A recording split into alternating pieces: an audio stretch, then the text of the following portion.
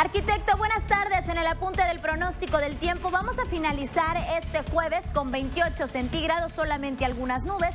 No esperamos precipitaciones significativas durante esta noche, pero prepárese porque vienen cambios importantes para mañana viernes. Nos visita el segundo sistema frontal de la temporada que va a traer un brusco descenso en la temperatura. En las primeras horas del día se va a llevar a cabo el valor máximo, en este caso será de 24 centígrados con eh, cielo parcialmente soleado. Después se va a ir incrementando significativamente la nubosidad, esperamos viento del norte y bueno, las precipitaciones nos estarán acompañando durante la tarde y tienden a generalizarse durante la noche.